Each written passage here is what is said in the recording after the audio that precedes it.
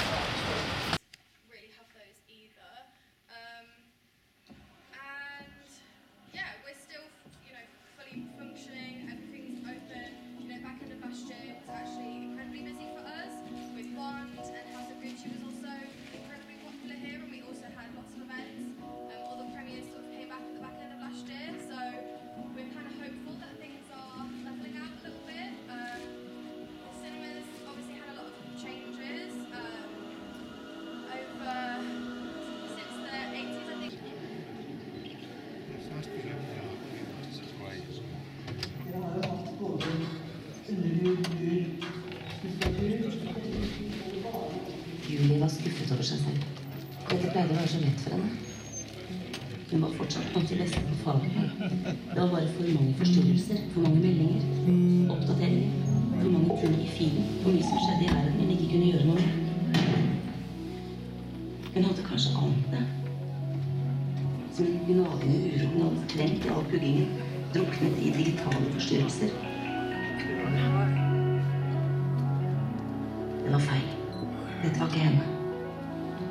Hun var her bare fordi medisin var det eneste studiet der alt arbeidet på videregående hadde gitt uttelling. Hvor alle sekserne hun hadde samlet opp, faktisk betyr noe. Fremtidige sjelesøstre. De var så godt som alle flinke piker på randen av spiseforstyrrelser. Er eh. Julie satt fortsatt fast i skoleflinkheten sin. All denne puggingen. Når skulle livet egentlig begynne? Hva heter du?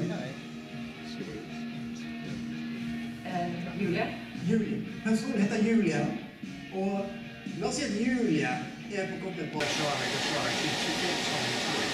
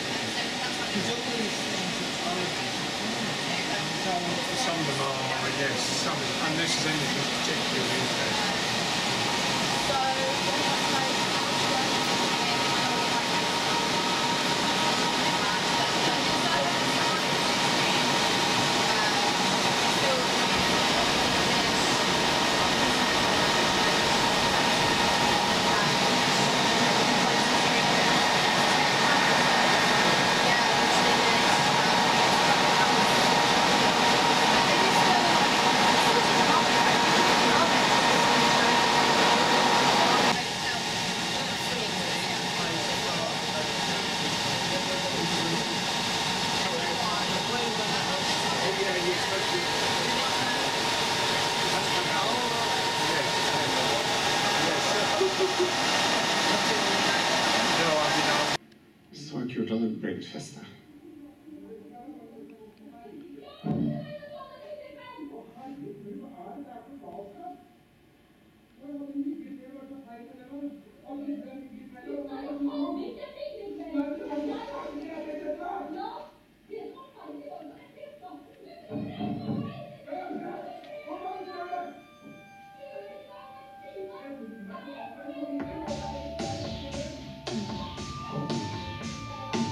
Lagi.